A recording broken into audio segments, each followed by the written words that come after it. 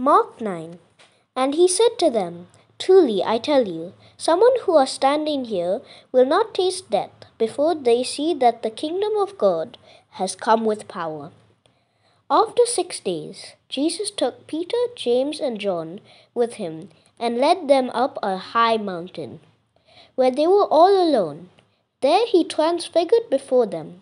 His clothes became dazzling white, whiter than anyone in the world could bleach them. And there uh, appeared before them Elijah and Moses, who were talking with Jesus. Peter says, said to Jesus, Rabbi, is it good for us to be here?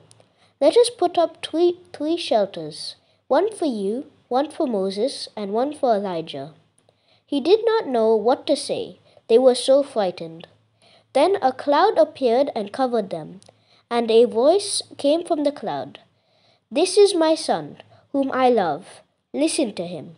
Suddenly, when they looked around, they no longer saw anyone with them except Jesus.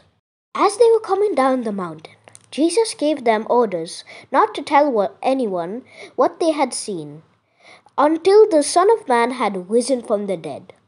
They kept the matters to themselves, discussing what rising from the dead meant. And they asked him, Why did the teachers of law say that Elijah must come first? Jesus replied, To be sure, Elijah does come first and restores all things. Why then is it written that the Son of Man must suffer much and be rejected?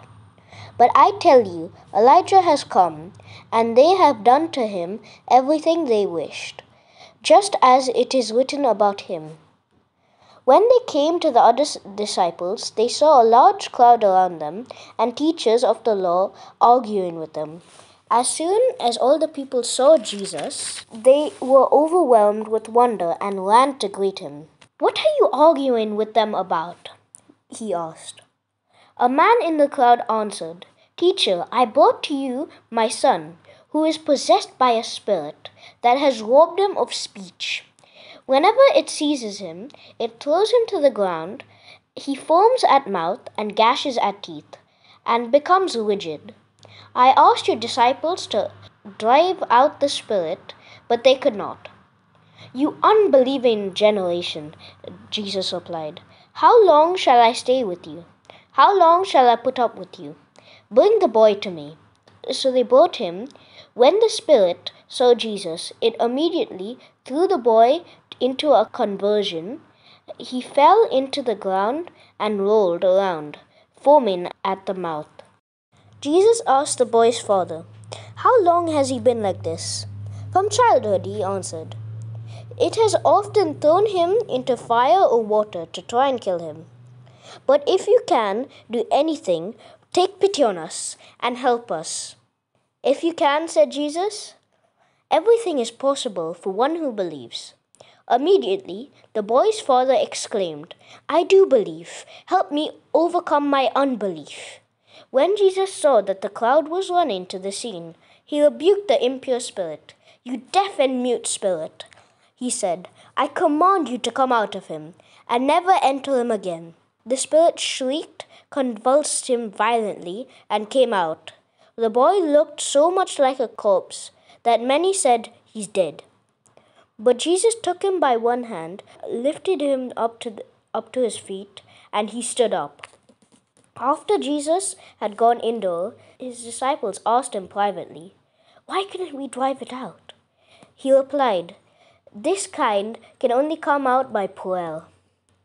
They left that place and passed through Galilee, and Jesus did not want anyone to know that they were there. Because he was teaching his disciples, he said to them, The Son of Man is going to be delivered into the hands of men. They will kill him, and after three days he will rise. But they did not understand what he meant and were afraid to ask him about it. They came to Capernaum, where in the house he asked them, What were you arguing about on the road? But they kept quiet, because on the way they had argued about who was the greatest. Sitting down, Jesus called the twelve and said, Anyone who wants to be first must be the very last, and servant of all. He took a little child, whom he placed among them. Taking the child into his arms, he said to them, Whoever welcomes one of these little children in my name welcomes me. And whoever welcomes me does not welcome me, but the one who sent me. Teacher, said John, we saw someone driving demons in your name, and we told him to stop, because he was not one of us. Do not stop him, said Jesus. For no one who does a miracle in my name can in the next moment say anything bad about me. For whoever is not against us is for us. Truly I tell you, anyone who gives you a cup of water in my name, because you belong to the Messiah, will certainly not lose their reward. If anyone causes one of these little ones, those who believe in me, to stumble, it would be better off for them if a large milestone were hung around their neck and they were thrown into the sea. If your hand causes you to stumble, then cut it off. It is better for you to enter a life maimed than with two hands to go to hell, where the fire never goes out. And if your foot causes you to stumble, cut it off. It is better for you to enter your life crippled than to have two feet and thrown into hell. And if your eye causes you to stumble, pluck it out. It is better for you to enter the kingdom of God with one eye than to have two eyes and be thrown into hell, where the worms that eat them do not die, and the fire is not quenched. Everyone who will be salted with fire. Salt is good, but if it, if it loses its saltiness, how can you make it salty again? Have salt among yourselves and be with peace with each other.